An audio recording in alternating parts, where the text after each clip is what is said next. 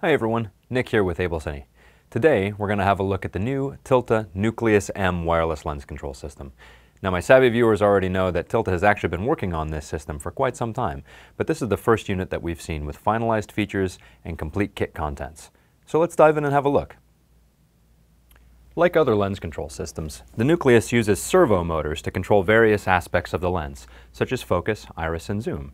Where the system differs, however, is in all the myriad control options that it comes with. In addition to a very robust hand unit that you'd expect to find in a normal system like this, the Nucleus also comes with two grips, both of which are equipped with small knobs here for you to allow the operator to actually control the lens themselves. On the right-handed grip, there's also a zoom rocker, which gives the operator the typical full three axes of control. Though the system only comes with two motors, a third can be added to allow for that. All the necessary cables are also included in the kit, and it comes with a nice case with custom pre-cut foam. Additional cabling for run-stop for various cameras is also available. While both the hand unit and the grips can be hardwired for direct control, all three can be wirelessly linked to the motors inside of the Nucleus's impressive 1,000 foot range. All of the hardware and electronics needed to do that is built into the motors themselves, so there's no external control box to clutter up your setup. All associated wireless units can even be configured for three levels of strength, allowing the operator to prioritize signal strength or battery consumption depending on their needs. One of the unique features of the kit is the ability to independently assign control surfaces to each motor.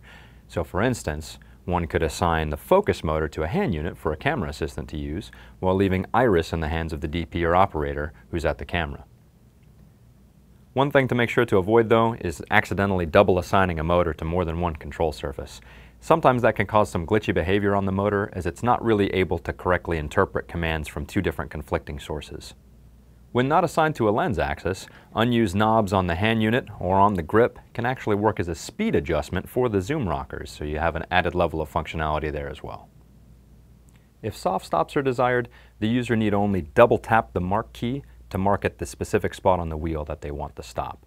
When they reach that stop again, the unit will give haptic style feedback in the form of a small vibration. This is very useful for when you want to measure to talent, but be able to continue to pull focus past the mark just in case someone misses it. No, I'm sure talent would never do that, right?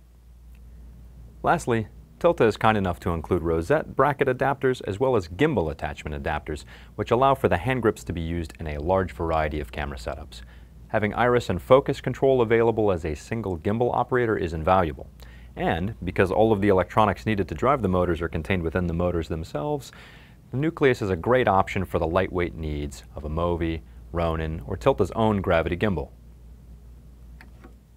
Overall, Tilta has produced a very promising entry into the lens control space, and to top it off, doing so at a price point that is surprisingly low for what's on offer. For more info on this and other exciting pieces of cinema and broadcast technology, stay tuned to abelcine.com. As always, thank you for watching, and I'll see you on the next video.